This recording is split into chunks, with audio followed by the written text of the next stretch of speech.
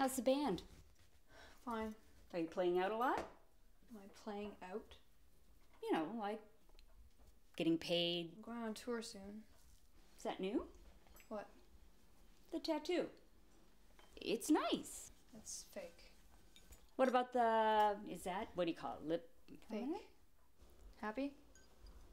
I just asked. I think we had enough of that in there with dinner. Do you think maybe you were a little hard on your brother Martin in there? No, I think I was pretty accurate. Really? Yeah. Everything was always about him, Mom. Look, I don't know what it's like to be depressed, but I know that he d- definitely wasn't a good brother. I came here for you, I came here for Ryan.